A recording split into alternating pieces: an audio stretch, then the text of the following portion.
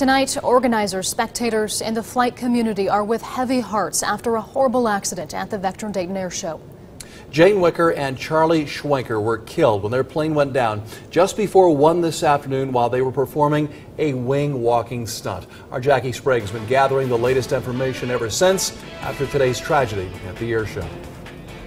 Well, Mark and Katie, we just got off the phone with the National Transportation Safety Board. Official, officials tell us investigators are still en route here to Vandalia. However, the plane is gone, removed from the scene here at the Vectren Dayton Air Show. Now, once they arrive, those investigators have a lot of work ahead of them to try to determine how and why this deadly crash happened. Now they will look at the wreckage, examine the area, talk to witnesses, and look at videos and pictures.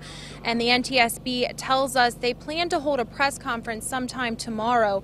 We've also learned tonight that just a few days before this deadly crash, one of the victims, Jane Wicker, tweeted that this was her first air show since injuring her lung and spleen in a non aviation accident. She tweeted that she had been grounded for the past couple weeks and was ready to rock Dayton. Now, her pilot, Charlie Schwenke, was also killed in this plane crash. The tragedy has left the air show community in shock. Uh, this is uh, is a tragedy for what's a very small community, and you know obviously our thoughts and and prayers go out to to those two individuals and their families. Throughout air shows uh, around the country, many of the acts are part of the same association and they perform together, spend time together, and they get to know each other, and that's the case. So, really, it's about uh, a friendship that's pulled together from an industry.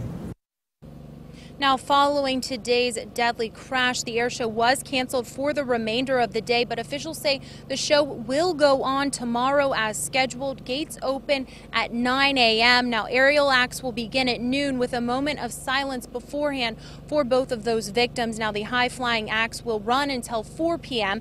Tickets for the event will be honored. Tickets for today's event will be honored tomorrow. Now, I spoke with many people who witnessed that crash today, and they tell me they will back tomorrow in those victims' honor. Reporting live in Vandalia, Jackie Sprague, 2 News, working for you.